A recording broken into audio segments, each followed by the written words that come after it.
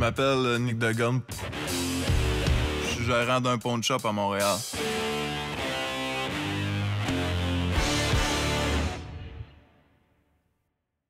J'ai passé une grande partie de mon adolescence dans la rue, puis euh, je veux jamais y retourner.